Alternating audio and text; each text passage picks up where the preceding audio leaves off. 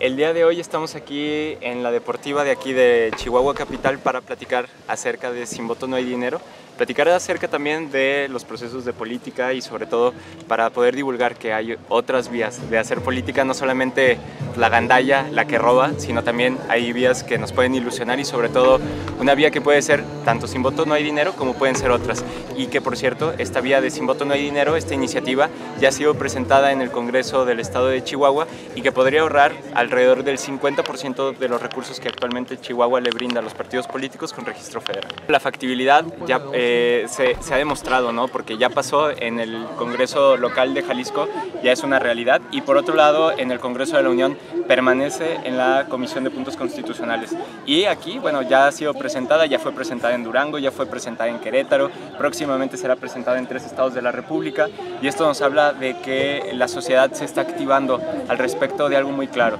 Hoy los partidos reciben 47 pesos por cada persona que tiene credencial para votar, no por la cantidad de gente que sale a, dar su voto. Y eso es algo muy importante porque hoy estamos bajo la lógica de si van a votar 85 millones de personas o una,